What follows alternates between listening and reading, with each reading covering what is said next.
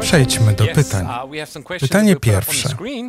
Czy bezbożni będą mogli zobaczyć sprawiedliwych znajdujących się wewnątrz Nowego Jeruzalem? Wierzę, że tak. Przypowieść o Łazarzu i bogaczu sugeruje, że przynajmniej przez krótki czas odkupieni będą mogli widzieć zgubionych, a zgubieni odkupionych. Będzie to wielki dzień rozliczeń. To będzie trudny czas. Wszyscy tam będziemy.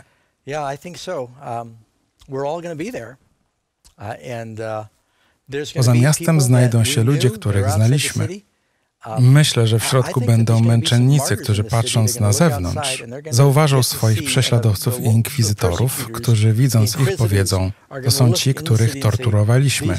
Będzie więc możliwy tego rodzaju kontakt. To również część Bożej sprawiedliwości. Te osoby zostaną zrehabilitowane w oczach swoich prześladowców. A potem odbędzie się sąd Wielkiego Białego Tronu, o którym czytaliśmy. Każda sprawa zostanie otwarta i przebadana. W przypadku bezbożnych. Poważny czas. Kolejne pytanie. Ile będzie trwał okres od momentu, gdy święte miasto stąpi na ziemię, aż do chwili, gdy bezbożni zostaną zniszczeni przez ogień z nieba? Cieszę się, że mamy to pytanie. Zwykle wspominam o tym w czasie studium, ale dzisiaj zapomniałem. Nie wiemy. Czytamy, że szatan zostanie rozwiązany na krótki czas. To niesprecyzowany okres. Najdokładniejsze, co możemy znaleźć, to kiedy w liście do Hebrajczyków 11 czytamy, że przez wiarę Mojżesz, kiedy dorósł, nie zgodził się, by go nazwano synem córki faraona i wolał raczej znosić uciski wespół z ludem Bożym, aniżeli zażywać przemijającej rozkoszy grzechu. W przypadku Mojżesza ten krótki czas trwał 40 lat, kiedy prowadził lud Boży przez pustynię z Egiptu do ziemi obiecanej. Nie wiem, czy będzie to 40 lat. Będą jednak mieli wystarczająco dużo czasu, żeby się zorganizować. Nie może to trwać zbyt długo, bo co będą jedli? Być może będą podtrzymywani Bożą mocą. Przy okazji, w Biblii wspomniany jest czas, zapomniałem, gdzie zapisane jest to proroctwo, w którym szukać będą ludzie śmierci, ale jej nie znajdą. W czasie milenium ci, którzy zostaną wzbudzeni przez Pana, będą podtrzymywani Bożą mocą. Nie wiem, czy będą mieli czas na uprawianie ziemi, jedzenie i wszystkie rzeczy, którymi normalnie się zajmujemy. Werset, do którego się odniosłeś, jest zapisany w Apokalipsie 9:6. Mamy następne pytanie. W jaki sposób zniszczenie upadłych aniołów i bezbożnych ludzi wpłynie na Boga?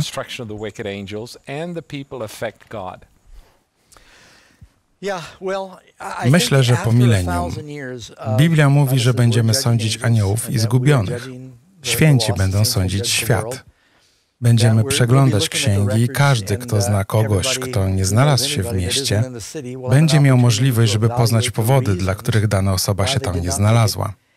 Wszyscy dojdziemy do punktu, w którym będziemy całkowicie przekonani o tym, że Bóg był miłujący i sprawiedliwy. Bóg nie chce, żebyśmy wchodzili w wieczność zgadując lub wątpiąc w Jego dobroć, sprawiedliwość i miłość. Mówi więc, daję Wam wgląd we wszystko, co wiem, a także w cały proces rozpatrywania spraw. Ujawnia nam informacje. Wszyscy politycy mówią o transparentności. Bóg zademonstruje najwyższy poziom transparentności.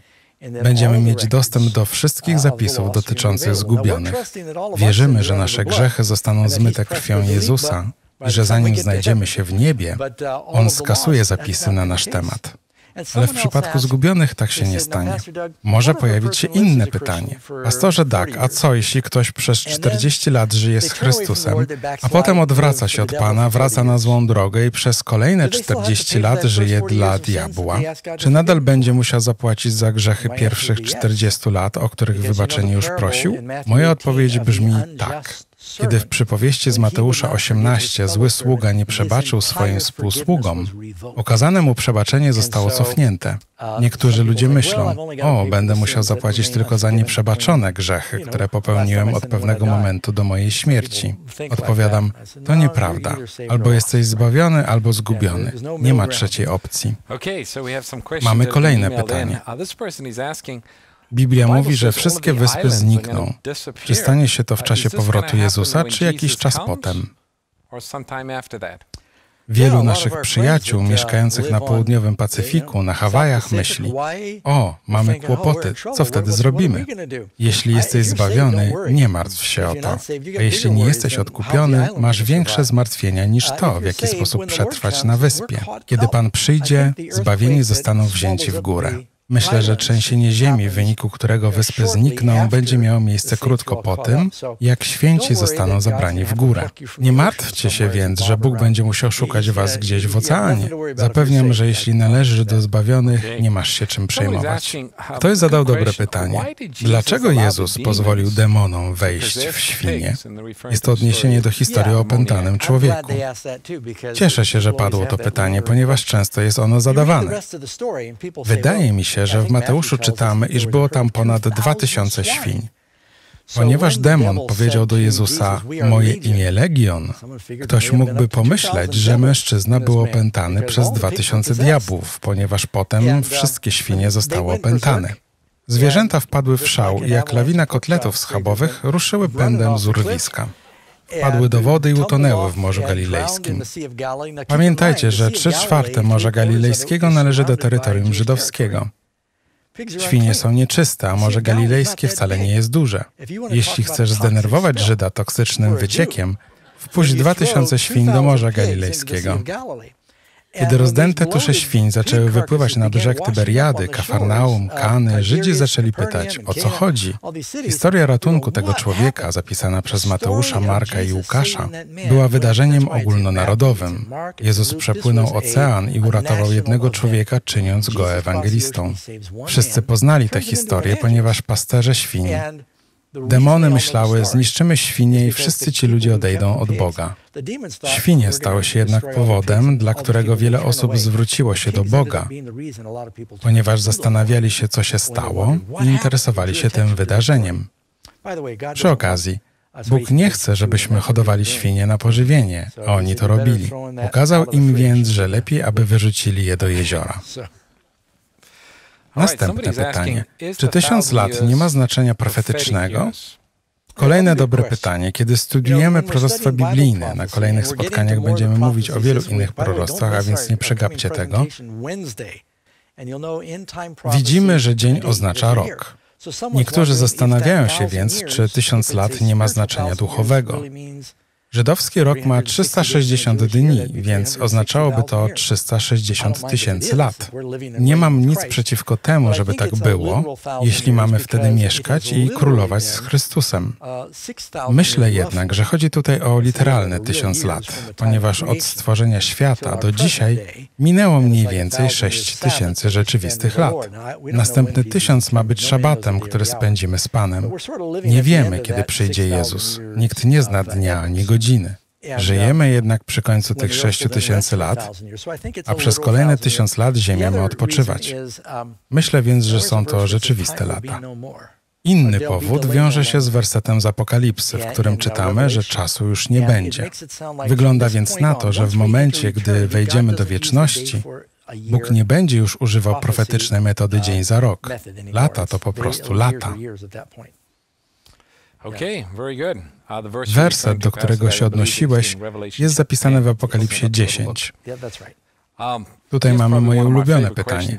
Nigdy wcześniej nie słyszałem, żeby ktoś o to pytał. Um, Skoro w Królestwie Niebios wszyscy będziemy młodzi, dlaczego Biblia mówi o 24 starcach? To urocze.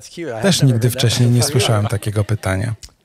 Pamiętam, że kiedy sam zostałem chrześcijaninem, miałem około 20 lat i byłem zdziwiony, że w zborze powiedziano mi: Chcemy, żebyś został starszym. Odrzekłem: Nie pośpieszajcie mnie, jestem dopiero po dwudziestce. Nie chcę być starszym Dagiem, z całym szacunkiem dla Mormonów, ale każdy z ich misjonarzy ma znaczek, na którym napisany jest starszy Smith albo starszy Jones. A przecież wielu z nich ma nie więcej niż 20 lat, a niektórzy nawet nie przekroczyli dwudziestki. Określenie starszy jest w Biblii wyrażone słowem presbiterus i zwykle oznacza osobę pełnoletnią i doświadczoną. Na przykład kościół prezbiteriański był prowadzony przez starszych. Kiedy używamy tego określenia, nie oznacza ono, że osoby te wyglądają staro. Oznacza ono ludzi mających doświadczenia z Bogiem. Nawet Hiob mówi o starszych w niebie. Synowie Boży wokół jego tronu, tak. Mamy kolejne pytanie. Kiedy będzie miał miejsce wielki ucisk, o którym wspomina Biblia? W odniesieniu do drugiego przyjścia Chrystusa. Będziemy studiować na ten temat, więc nie przegapcie tego. Jeśli mówiłem, że nie powinniście stracić poprzednich wykładów, to w przypadku tych nadchodzących jeszcze bardziej to podkreślam. Czas ucisku zacznie się, kiedy zwierzę wprowadzi prawa religijne, zmuszając wszystkich do dokonania wyboru pomiędzy przestrzeganiem przykazań Bożych i przykazań ludzkich. Piotr mówi, że powinniśmy bardziej słuchać Boga niż ludzi. Jeśli nie będziemy posłuszni, pewna religijna organizacja polityczna Narody świata nigdy nie połączą się w jeden naród, mówi o tym Daniel w drugim rozdziale swojej księgi. Powstanie jednak pewnego rodzaju religijna konfederacja, która będzie ustalać prawa i zastraszać ludzi. Jej przywódcy będą mówić nam, jak i kogo mamy czcić. Za wszystkim będzie stała moc zwierzęcia. Jeśli nie będziemy z nim współpracować, zabronią nam kupować i sprzedawać. Nie powinno nas to zaskoczyć, ponieważ nawet teraz rządy nakładają sankcje polegające na tym, że kraje nie mogą kupować ani sprzedawać, ale wtedy będzie się to działo na poziomie osobistym. Chyba wszyscy mamy świadomość, że jesteśmy w przededniu wprowadzenia cyfrowej waluty. Większość ludzi już teraz nie używa gotówki. Kontrolowanie handlu będzie więc bardzo proste. To będzie mały czas ucisku. Wielki czas ucisku rozpocznie się, gdy wydany zostanie wyrok śmierci. Wtedy spadnie siedem siedem plak ostatecznych. Będzie to wyjątkowo ciężki czas. Krew, poparzenia spowodowane ogromnym gorącem, woda zamieni się w krew. Będzie bowiem wówczas wielki ucisk, jakiego nie było od początku świata. Tak ciężki, a jednocześnie tak wspaniały czas. Mamy następne pytanie. Jezus powiedział, w domu mego Ojca wiele jest mieszkań. Jednak w Izajaszu 65 czytamy, że będziemy budować domy i w nich mieszkać. Jak to wyjaśnić? Tak, każdy z nas otrzyma przygotowane przez Boga mieszkanie w Nowym Jeruzalem. Być może będzie to miasto wielopoziomowe. Bóg powiedział, że nie jesteśmy w stanie sobie tego wyobrazić. W kulturze żydowskiej, uh, kiedy kobieta przyjęła świadczyny, a rodziny zgodziły się na małżeństwo pomiędzy dwiema osobami, Mężczyzna wracał do domu swojego ojca i tam budował komnatę weselną, specjalne pomieszczenie dla nowożeńców. Uh, kiedy wszystko było gotowe, zabierał swoją przyszłą żonę do tego miejsca, które zazwyczaj łączyło się z domem jego ojca. Chrystus używa tutaj języka związanego z małżeństwem. Nie musimy się martwić, ponieważ Jezus nie zapomni o nas, tak jak oblubieniec nie zapomina o swojej oblubienicy gdy przygotuje dla niej to szczególne miejsce. Będziemy mieć mieszkanie w mieście, ale potem Bóg powie: Idźcie dalej, badajcie ziemię. Odkupieni cisi odziedziczą ziemię. Czytamy, że wtedy będziemy budować domy i podobnie jak Jozue podzielił ziemię obiecaną pomiędzy Izraelitów, tak Bóg w jakiś sposób podzieli nowy świat pomiędzy 144 tysiące i cały ten wielki tłum zbawionych. Każdy z nas będzie miał własną przestrzeń, w której będziemy uprawiać winorośle i jeść ich owoce, każdy pod swoją winoroślą i pod swoim drzewem figowym. Um, Następne pytanie. W którym momencie historii świata Duch Święty zostanie zabrany z ziemi? Nastąpi moment, w którym czas łaski się zakończy, prawdopodobnie zaraz po zakończeniu małego ucisku. W czasie tego ucisku Boży lud będzie prześladowany, nie będzie mógł kupować ani sprzedawać, ale nadal będzie głosić. Jezus powiedział: Będziecie prowadzeni przed namiestników i przed królów na świadectwo. I dodał: Nie troszcie się o to, co będziecie wtedy mówić, bo Duch Święty wam to podpowie. W tym czasie ludzie nadal będą się nawracać. Natomiast chrześcijanie, których wiara nie jest ugruntowana, odejdą od Boga. W czasie małego ucisku Duch Święty nadal będzie poruszał ludzkie serca i nakłaniał ich do podjęcia decyzji dla Boga. Myślę, że pod koniec tego okresu zostanie on ostatecznie zabrany. Ci mieszkańcy Ziemi, którzy będą zgubieni, dostaną się pod całkowitą kontrolę demonów. Lud Boży nadal będzie miał Ducha Świętego. Tak, będzie zapieczętowany Duchem Świętym. Kolejne pytanie. Pastorze, w jednej z poprzednich prezentacji mówiłeś o tym, co dzieje się z człowiekiem po śmierci. Jak należy rozumieć werset? Wolelibyśmy raczej wyjść z ciała i zamieszkać u Pana. Tak, to jest werset z drugiego listu do Koryntian 5. Paweł wiele razy był w więzieniu z powodu swojej wiary. Myślę, że wiedział, iż jego dni są policzone. I napisał, wolałbym wyjść z ciała i zamieszkać u Pana, ale jestem tutaj z wami, żeby wam służyć. Użył tutaj określenia wyjść z ciała i być w obecności Boga. Kiedy wierzący umiera, jego następna świadoma myśl to moment zmartwychwstania, otrzymania chwalebnego ciała i wstąpienia w górę na spotkanie z Panem. Od momentu, kiedy Jan Hus czy ktokolwiek inny w historii zmarł, upłyną tysiące lat. Zmarł jako męczennik i kiedy tylko zamknął oczy, czy kiedykolwiek mieliście w pracy bardzo ciężki dzień, po którym wzięliście gorący uh, prysznic, Wyczerpani położyliście się do łóżka, zamknęliście oczy i nagle usłyszeliście dźwięk budzika? Oh, o, a czemu on już dzwoni? Byliście przekonani, że spaliście trzy minuty, a tak naprawdę było to siedem godzin. Też kiedyś miałem takie noce. Kiedy byłem nastolatkiem, budziłem się po 10 godzinach, chociaż myślałem, że minęło dopiero 10 minut. Na Ziemi nadal toczy się życie, ale zmarli nie mają świadomości upływającego czasu.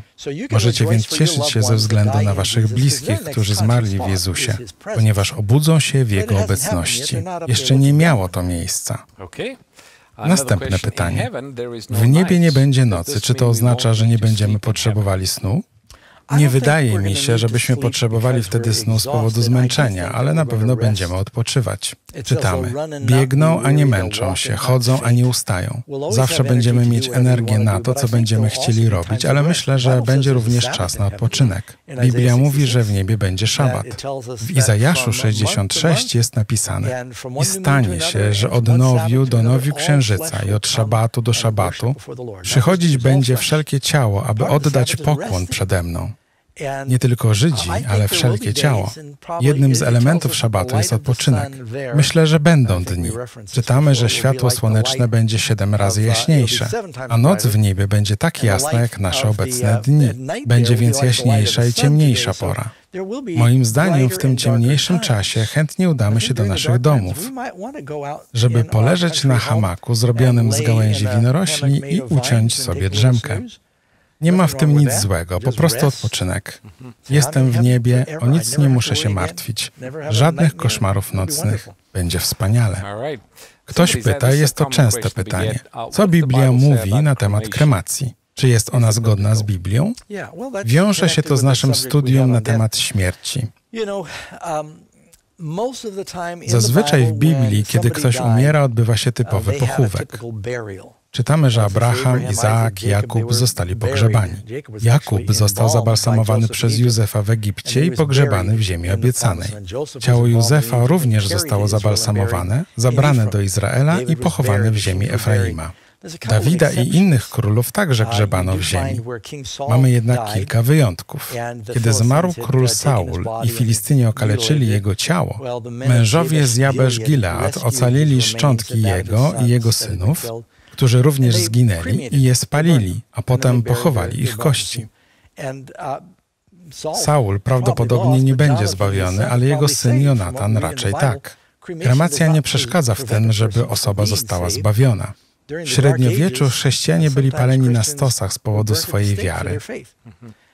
To niczemu nie przeszkadza. Niektórzy pytają, jak Bóg znajdzie wszystkie części i złoży je w całość. Bóg uczyni ich nowymi. Stare rzeczy przeminą, wszystko stanie się nowe. Nie musimy się więc martwić, że Pan nie będzie w stanie nas wzbudzić. Protestanci zazwyczaj stoją na stanowisku, że ponieważ Bóg stworzył człowieka na swój obraz, nawet w śmierci jesteśmy do Niego podobni, więc powinniśmy zachować ciało w takiej formie. Jednak gdy umierasz, proch i tak w końcu wraca do prochu. Jeśli nie zastosujemy specjalnych środków, zamienimy się w pył. Kolejne pytanie. Co Biblia mówi na temat rozwodu i ponownego małżeństwa? Wydaje się, że jest to powszechny problem nawet w Kościele. Tak, dobre pytanie.